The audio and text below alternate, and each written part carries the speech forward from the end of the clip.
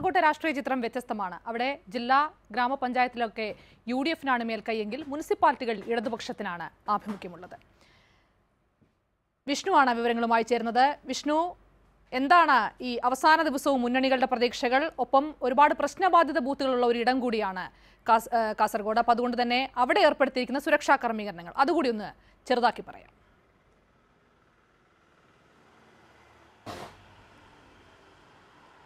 ശാലിനി കാസർഗോഡ് ഇടത് വലത് മുന്നണികൾ ഒപ്പത്തിനൊപ്പമാണ് തദ്ദേശ ഭരണ സ്ഥാപനങ്ങളിൽ ബ്ലോക്ക് പഞ്ചായത്തിലും നഗരസഭകളിലും എൽ ഡി എഫും ജില്ലാ പഞ്ചായത്തിലും പഞ്ചായത്തുകളിലും യു ഡി എഫിനാണ് മേൽക്കൈ. ഇത്തവണ വലിയ മത്സരം നടക്കുന്നത് ജില്ലാ പഞ്ചായത്തിലേക്കാണ്.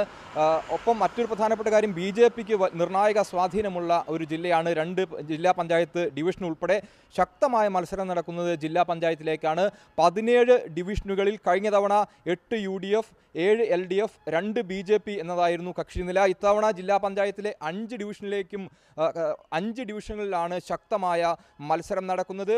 M C Kamaruddin M L A ജയിലിലായ jewellery നിക്ഷേപ തട്ടിപ്പ് പെരിയ ഇരട്ട കൊലപാതക കേസിൽ സി ബി ഐ അന്വേഷണത്തിനെതിരെ സുപ്രീം കോടതിയിൽ സർക്കാരിനേറ്റ തിരിച്ചടി ഒപ്പം ഇടതുപക്ഷ സർക്കാരിന്റെ വികസന പ്രവർത്തനങ്ങൾ ഇടതുപക്ഷത്തിനെതിരെയുള്ള അഴിമതി ആരോപണങ്ങളെല്ലാം തന്നെ ജില്ലാ പഞ്ചായത്ത് ഡിവിഷനുകളിൽ വലിയ ചർച്ചയാണ്.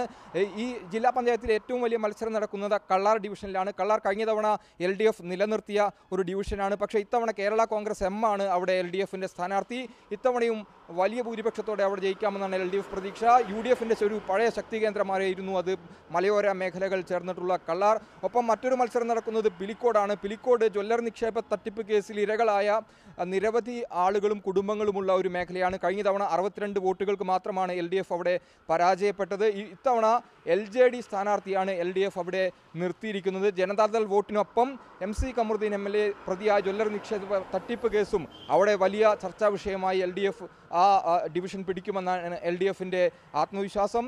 ഒപ്പം മറ്റൊരു മത്സരം നടക്കുന്നത് എടനീർ ഡിവിഷനിലാണ്. ബി ജെ പി ആണ് എടനീർ ഡിവിഷൻ കഴിഞ്ഞ തവണ ജയിച്ചത്. നൂറ്റി നാൽപ്പത്തിരണ്ട് വോട്ടുകൾക്ക് മാത്രം ഇത്തവണ ഷാഹിന സലീം എന്ന് പറയുന്ന ചെങ്കള മുൻ പഞ്ചായത്ത് പ്രസിഡന്റിലൂടെ മുസ്ലിം ലീഗ് ആ സീറ്റ് തിരിച്ചു പിടിക്കുമെന്ന് ഉറപ്പ് പറയുന്നു. പക്ഷേ ബി ജെ പി അത് നിലനിർത്തുമെന്നും പറയുന്നു. മറ്റൊരു മത്സരം നടക്കുന്നത് ചെങ്കള ഡിവിഷനിലാണ്. ചെങ്കള ഡിവിഷനിൽ കോൺഗ്രസ് വിട്ടുവന്ന ഷാനവാസ് പാതൂരാണ് എൽ ഡി എഫ് സ്ഥാനാർത്ഥി. മുസ്ലിം ലീഗിന്റെ കുത്തകയാണ് ചെങ്കള ഡിവിഷൻ. പക്ഷേ ഈ ഷാനവാസ് പാതൂരിന്റെ ജനകീയതയിലൂടെ അദ്ദേഹത്തിന്റെ അച്ഛനായ കുഞ്ഞാമുഹാജിയുടെ ജന പിന്തുണയോടെ ആ ഡിവിഷൻ തിരിച്ചുപിടി പിടിച്ചെടുക്കാമെന്നാണ് എൽ ഡി എഫിന്റെ പ്രതീക്ഷ. ഇങ്ങനെ അഞ്ച് ഡിവിഷനുകളിൽ അതിശക്തമായ മത്സരം നടക്കുന്നു. നഗരസഭകളുടെ കാര്യമെടുത്താൽ മൂന്ന് നഗരസഭകളാണ് ജില്ലയിലുള്ളത്. കാഞ്ഞങ്ങാട് നീലേശ്വരം കാസർഗോഡ് കാസർഗോഡും നീലേശ്വരവും കാസർഗോഡ് യു ഡി എഫും നീലേശ്വരം എൽ ഡി എഫുമാണ് ഭരിക്കുന്നത്. വർഷങ്ങളായി ഏറ്റവും വലിയ മത്സരം നടക്കുന്നത് കാഞ്ഞങ്ങാട് നഗരസഭയിലാണ്. മുപ്പത് വർഷത്തിന് ശേഷം കഴിഞ്ഞ തവണ വ്യക്തമായ ഭൂരിപക്ഷത്തോടെ എൽ ഡി എഫ് പിടിച്ചെടുത്ത നഗരസഭയാണ് കാഞ്ഞങ്ങാട്. ഇത്തവണ യു ഡി എഫ് അത് തിരിച്ചുപിടിക്കും എന്ന ആത്മവിശ്വാസത്തിലാണ്. യു ഡി എഫിന്റെ പ്രധാനപ്പെട്ട വാദം തങ്ങൾക്ക് കോൺഗ്രസിന് റിബൽ സ്ഥാനാർത്ഥികളില്ല.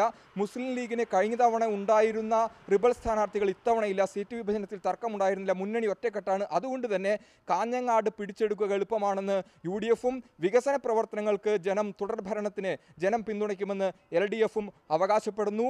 മറ്റൊരു പ്രധാനപ്പെട്ട വിഷയം ബി ജെ പിയുടെ സീറ്റുകളാണ്.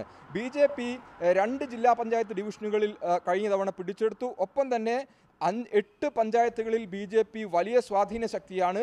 അഞ്ച് പഞ്ചായത്തുകളിൽ കഴിഞ്ഞ തവണ ഏറ്റവും വലിയ ഒറ്റകക്ഷി ബി ജെ പി ആയിരുന്നു. പക്ഷേ രണ്ടിടത്ത് മാത്രമായിരുന്നു ഭരണം. വലിയ നാടകീയ നീക്കങ്ങൾക്കൊടുവിൽ ഇടത് വലത് മുന്നണികൾ ഒന്നിച്ച് മൂന്ന് പഞ്ചായത്തുകളിൽ ബി ജെ പിയെ അധികാരത്തിൽ നിന്ന് മാറ്റി. ഈ അഞ്ച് പഞ്ചായത്തുകളിൽ എന്താകും ഫലം എന്നത് വലിയ ചർച്ച ആണ്. ബി ജെ പി ആരോപിക്കുന്നത് ഇടതു വലത് മുന്നണികൾ തമ്മിൽ ഇപ്പോൾ തന്നെ ധാരണയുണ്ട്. അതുകൊണ്ട് അടിയൊഴുക്കുകൾ എങ്ങനെയാകുമെന്ന് പറയാൻ കഴിയില്ല. അതുകൊണ്ട് ഈ അഞ്ച് പഞ്ചായത്തുകളിലും ഭരണമാർക്ക് രണ്ട് പഞ്ചായത്തുകൾ ബി ജെ പി ഉറച്ചു പ്രതീക്ഷിക്കുന്നു. മധൂരും വെള്ളൂരും. പക്ഷേ എൻമകജ കാറെടുക്ക പൈവളികെ ഇവിടെ എൻമകജയിൽ ഇടതുപക്ഷത്തിന്റെ പിന്തുണയോടുകൂടി കോൺഗ്രസും കാറടുക്കയിലും പൈവളികയിലും യു ഡി എഫിന്റെ പിന്തുണയോടുകൂടി ഇടതുപക്ഷവും ബി ജെ പി അവിശ്വാസത്തിലൂടെ പുറത്താക്കി അധികാരത്തിൽ വന്ന പഞ്ചായത്തുകളാണ്. അതുകൊണ്ട് തന്നെ ഈ പഞ്ചായത്തുകളിൽ എന്താകും ഫലം എന്നത് വളരെ നിർണായകമാണ്. ബി ജെ പിക്ക് ഇടതുപക്ഷവും വലതുപക്ഷവും വോട്ടെടുപ്പിന് മുന്നേ തന്നെ ധാരണയുണ്ടെന്ന് പറയുമ്പോഴും അവർ പറയുന്നത് യാതൊരു ധാരണയുമില്ല. പക്ഷേ തെരഞ്ഞെടുപ്പ് കഴിഞ്ഞാൽ ബി ജെ പി അധികാരത്തിൽ നിന്ന് മാറ്റി നിർത്താൻ അത്തരമൊരു ധാരണയിലേക്ക് പോകാമെന്നും അവർ പറയുന്നു. ഇങ്ങനെ പഞ്ചായത്ത് നഗരസഭ ഒപ്പം തന്നെ ജില്ലാ പഞ്ചായത്ത് ഇഞ്ചോടിഞ്ച് മത്സരമാണ്. കാസർഗോഡ് കാസർഗോഡ് നാൽപ്പത്തി മൂന്ന് വൾണബർ വൾണറബിൾ ബൂത്തുകളും എൺപത്തി നാല് ക്രിട്ടിക്കൽ ബൂത്തുകളുമാണുള്ളത്. തൊണ്ണൂറ്റി ഒൻപതിടത്താണ് വെബ്കാസ്റ്റിംഗ് വീഡിയോഗ്രാഫി സംവിധാനം ഏർപ്പെടുത്തിയിട്ടുള്ളത്. എട്ട് മാവോയിസ്റ്റ് ബാധിത ബൂത്തുകളുമുണ്ട്. ഇങ്ങനെ സുരക്ഷാ ക്രമീകരണങ്ങളെല്ലാം കാസർഗോഡ് ശക്തമായി തന്നെ നിലനിർത്തുന്നുണ്ട്. ഏറ്റവും വലിയ പോരാട്ടം ജില്ലാ പഞ്ചായത്തിലേക്ക് തന്നെയാണ് ശാലിനി. ശരി വിഷ്ണു ഇനി നമുക്ക്